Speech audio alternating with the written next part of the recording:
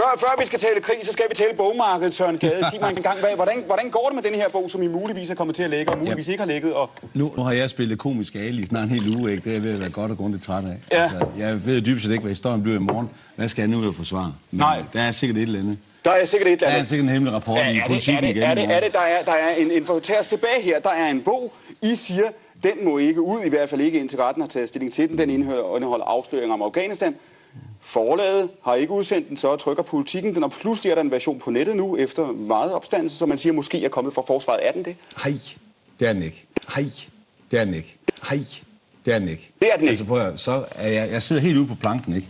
Hvis det nu skulle vise sig være rigtigt, så er jeg på vej ned i vandet, og det kan jeg garantere dig for, det er den ikke. Men den er væk fra nettet, og det er jo nok, fordi der er en, der synes, den fik nok for meget politisk bevågenhed, at der lå en version ude. Men, men du afviser det klarere nu, end du har gjort før, ikke? At det skulle være lækket på det har jeg sådan set gjort uh, hele tiden. Du er nu stensikker og fuldstændig overbevist om, at er den ikke er fuldstændig stensikker, så jeg er fuldstændig fra- stensikker, som man nu kan være som politiker. Men her er oddsene jo ret store, ikke? Fordi hvis jeg her tager fejl, så er der et enkelt vidne eller to, øh, som kan fortælle mig i næste uge.